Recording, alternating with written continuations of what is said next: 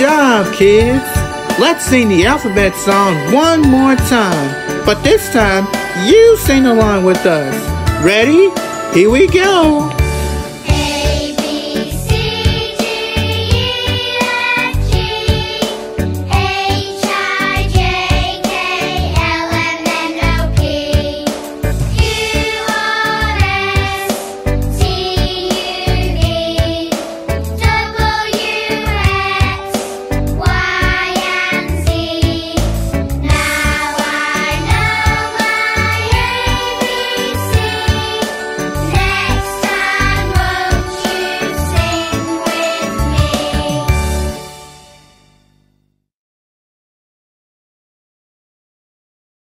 Try.